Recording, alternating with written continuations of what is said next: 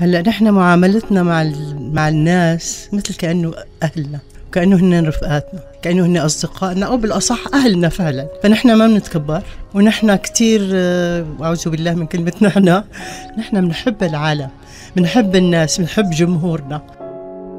أول لقاء صار لنا بمسرحية اسمها مدرسة الفضائح. هو بيكون شخص كبير بالعمر وأنا صغيرة. وبتزوجه وبعمل له مشاكل وكذا إلى آخره. اسمها اسمها مدرسة الفضائح. هون صار اللقاء. بتصور إنه هي الزوجة أساس ببناء البيت.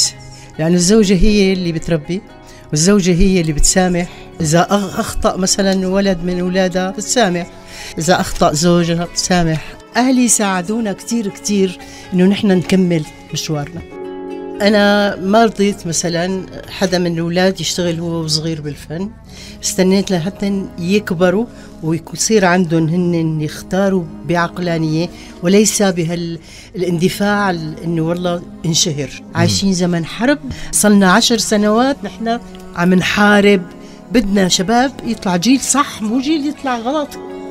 هلأ مشاهد قليلة ما بتهمني إذا ما كان إذا كان النص حلو. الدور له فعل. ما بيهمني إذا كان صغير ولا كبير.